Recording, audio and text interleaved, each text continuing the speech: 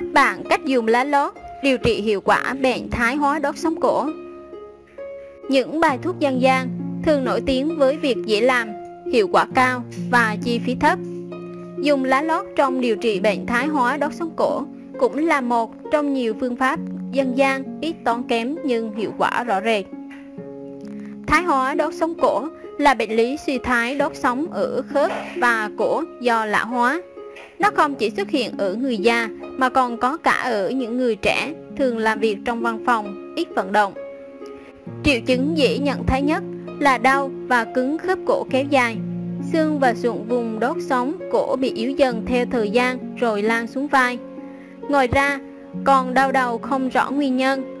Các triệu chứng thường gặp bao gồm Triệu chứng thường gặp 1. Xuất hiện các cơn đau mỏi vùng cổ vai, cổ gáy, khó khăn khi xoay đầu và cổ. 2. Các cơn đau có thể lan đến một hoặc hai bên vai và tay, khiến người bệnh bị tê hoặc mất cảm giác các ngón tay. 3.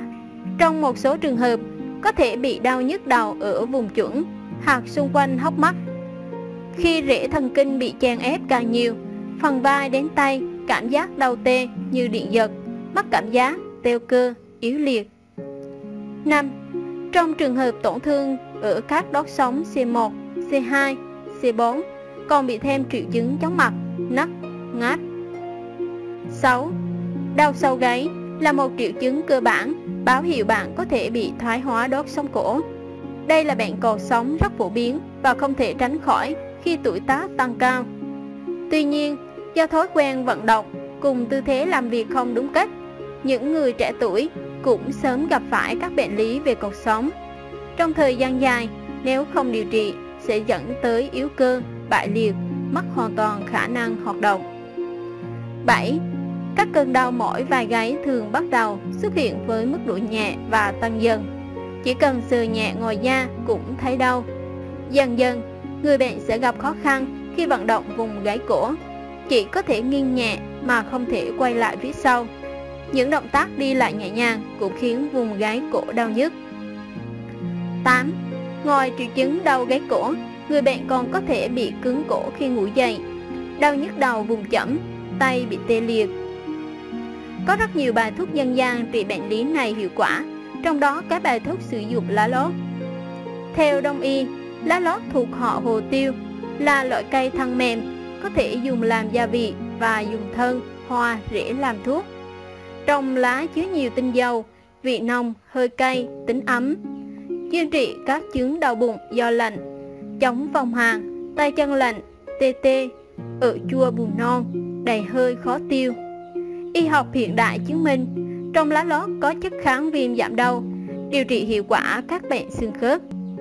Theo kết quả của các nghiên cứu hiện đại, lá có tác dụng kháng khuẩn, chống viêm và giảm đau khá tốt. Bài thuốc trị thái hóa đốt sống cổ từ lá lót Bài thuốc 1 Nguyên liệu. Rễ và lá cây lá lót Cây xấu hổ Lá cây đinh lăng Nước sạch tinh khiết. Thực hiện. 1. Rửa sạch lá và rễ lá lót Cắt thành từng đoạn nhỏ Sau đó mang vào sao vàng lá Rồi đem phơi khô, hạ thổ. Thực hiện. 1. Rửa sạch lá và rễ lá lót cắt thành từng đoạn nhỏ, sau đó mang sao vàng lá, rồi đem phơi, hạ thổ. Có thể làm nhiều để sử dụng dần vì có thể giữ được lâu. 2. Lá đinh lăng cùng cây số hổ thực hiện tương tự. 3. Chọn cả ba loại vào đều lên rồi đem nấu lên để lấy nước uống. Sử dụng thay cho nước lọc hàng ngày. Sử dụng liên tục trong một tuần, sau đó cứ cách một tuần lại sử dụng một tuần. Không chỉ chữa thái hóa đốt sống cổ vô cùng công hiệu, mà nước thuốc này còn giúp những người bị chứng ra mồ hôi chân tay chấm dứt tình trạng khó chịu này. Nước có vị ngang ngang, hơi đắng, khó uống. Có thể cho thêm một chút cam thảo cũng không ảnh hưởng gì đến tác dụng của thuốc. Lưu ý, nước thuốc hoàn toàn chế biến từ thảo dược phơi khô, không có chất bảo quản, bệnh nhân nên dùng hết trong ngày, tránh để qua đêm. Bài thuốc 2 Nguyên liệu Thân cây trinh nữ Cây và rễ cây ngải cứu Cây và rễ cỏ xước Lá lót, gừng, cam thảo Thực hiện 1. Cách làm tương tự như bài thuốc trước Đem tất cả các nguyên liệu lá lót, cỏ xước, ngải cứu, trinh nữ rửa sạch, thái nhỏ, sao lên rồi phơi khô. 2. Sắc uống như một loại trà, nên cho thêm cam thảo với gừng để nước ngon hơn và hiệu quả tốt nhất. Có thể sử dụng bài thuốc này bằng cách uống hàng ngày, sẽ thấy tình trạng thái hóa của mình được cải thiện rõ rệt sau một tuần sử dụng. Chữa thái hóa đốt sống cổ bằng lá lót được xem như một phương pháp vật lý trị liệu hiệu quả, giúp giảm đau đối với người bệnh thái hóa đốt sống cổ ở mức độ nhẹ, nên áp dụng cách chữa này thường xuyên. Tuy nhiên, thái hóa đốt sống cổ cần kết hợp nhiều phương pháp mới mang lại hiệu quả trị bệnh cao nhất.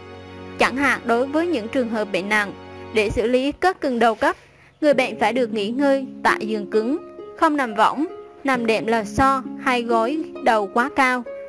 Đồng thời, kết hợp bổ sung sản phẩm có chứa bụi ba dưỡng chất, canxi, vitamin D và MK7 cùng các loại vi khuẩn dinh dưỡng khác như kẽm, boron, mangan, đồng.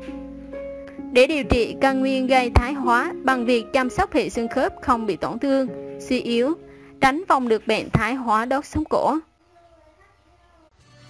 Cảm ơn bạn đã xem video của Sức khỏe tự nhiên. Hãy like, comment và đăng ký kênh bạn nhé. Vì sức khỏe người Việt